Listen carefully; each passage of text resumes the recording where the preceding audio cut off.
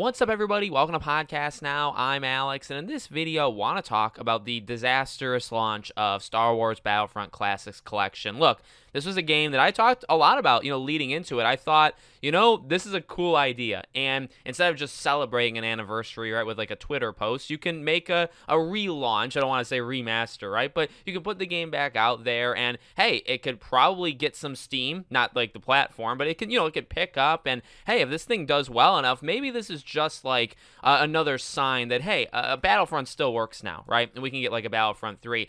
I think some of that, I mean, like there is appetite I think you can still tell there's appetite even from the launch, but uh, everything else basically has fallen apart, right? Now, IGN did a really good article, basically just taking a lot of the complaints that they found, uh, you know, others talking about and compiling it, but it really does a good job, I think, of showing the frustration and just the, I mean, the word disaster is what everybody's using, and it's fair. Now, I do want to say, you know, because I tweeted uh, yesterday, I've been kind of all over the place. We won't get too much into it, but I, I did get a code from them. I have a code for this game. I believe PlayStation. I haven't actually, I know I got the email, um, but I, I can't play it. I can't play it until maybe Saturday, Sunday. So um, this is all my impressions of what I've seen from other people completely unbought. You can't even say, hey, well, you're paid off. You got the code. I haven't used it yet. so I guess they can maybe even take it away from me. But no, this has to be called out, right? Um, it's not a full price game. It's $35, right? But the game, if the game doesn't work and the game doesn't add anything beyond the originals, then there's a big problem here. Now, and let me stay on that topic, right? So, what do I mean by that?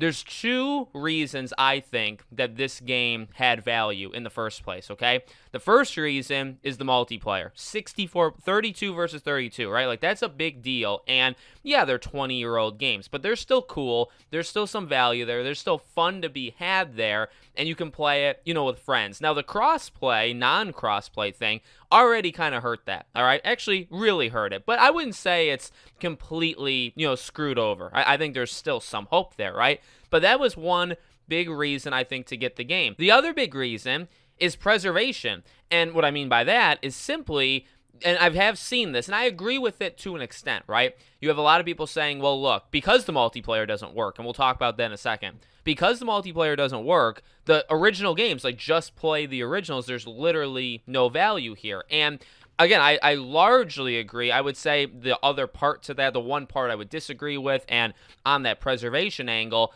I can still respect it, at least for, you know, trying, at least for putting it out there, that not everybody's going to do that, right? You look at like the modern gamer, or somebody growing up literally right now, right? How many are going to bust out their original Xbox? I don't know if it's backwards compatible, but even like, say, PS2, right? How many people are actually going to play Battlefront 2 on their PS2? Very few. Are there some? Yeah, absolutely. But are there a lot? No. And so putting and you know what I mean? That's that's what I would say is the second part of value to this game is simply keeping it around to just preserve it. But you know what? That second point becomes weaker and weaker when the game's not worth it, right? Like if you can't get on multiplayer. And I mean the you know the major tweet that's being shown around is it's hilarious. I honestly believe. So you had it's not exactly 10,000. I think it's like 9,300 people, right? 9,300 people were trying to play it last night, and there's only three servers, so you have like 200 people. 200 people could play online. The other, the other 9,100, they just said screw you, and you couldn't do it. Um, and that, you know, that's the big tweet, right? That's that's what everybody's talking about. But again, that's actually why I like IGN's article because they go over the the aim thing, right? Aiming is really, at least from again what I'm seeing. I'll have my own video. Like I do want to talk about my own impressions and uh, my own opinion, but that'll have to be you know a few days from now. But the aiming, obviously, is something that people had a really big problem with. The spawning system. Um, I even watched some Battlefront YouTubers that got it, you know, a few days early, that talked about it a few days early, that said, you know, in some of their heroes versus villains matches, the the AI just doesn't know what they're doing. They'll stand in the corner and, and really not do much. So that scared me when they said it. And then now you have this stuff where spawning is messed up, the aim is messed up, the uh, the time system. So sometimes it gets stuck at like one second. You know, a user said like the, the match wouldn't end. Um, it's uh like you can't have that, right? And then I, I mean, here's the thing: if you don't have that, the only thing you have is the base game, which, yes, you can play. You know what I mean? You can play that originally. Now, uh, you know, going to throw it out there,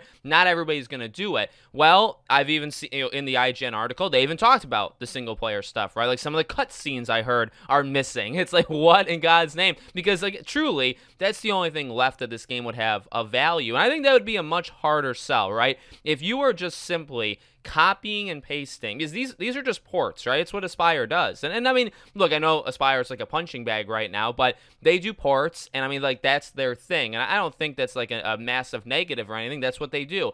Okay, but if you just do a port, right, and you add nothing, and I mean, if this game really has added nothing, now again, the, the things they did add is the multiplayer, which isn't working, you know, and and kind of putting it all together, like having Ventress and all that, like you know, having that kind of complete uh complete edition, let's call it, right? Okay, there's a few things here and there, right? But when most of it's not working, and yeah, maybe it works down the line, but right now it's not. So all you have left is the the base thing, which yeah, you can play just you know originally. You don't have to get this game, but so you know, I mean, if you're copying and pasting and you're adding nothing new to the conversation even at 35, which is a good deal. It's a good deal for two games, but two games that are 20 years old and two games that have not been this is not a remaster, this is not a remake. There's nothing enhanced about it, right? It's it's just putting all these kind of content things together and putting the two games together, right?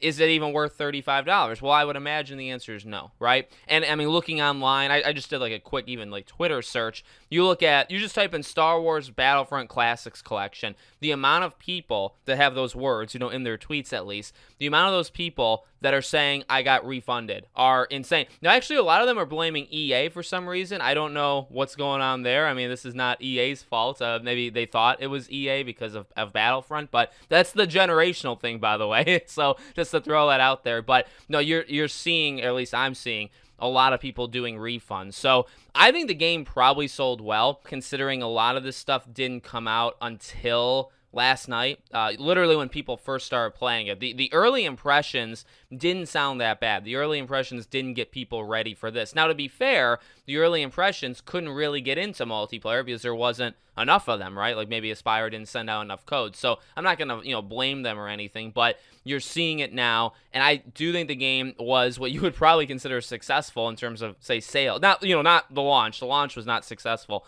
but the sales and I think the people that were actually gonna play it, I think there was a, a very good amount of them. And uh, now, well, now I think there's gonna. I think the drop in players is going to be astronomical because I think everybody's just going to say, nope, not like we're not doing this, right? And, and that's good, honestly, to say, like, hey, we've had enough of this kind of stuff. I, I totally respect. So I'm still going to play it. Like, I definitely want to try it just to see, like, what the situation. Plus, I, I do love these games. We'll just see if it's actually those games that they gave us. So I'll have an impressions video up maybe like Sunday or Monday. So you can hear what I think about it then. Let me know what you think. Make sure you're subscribed to the channel, bell icon turned on, and I hope to see you all on the next one.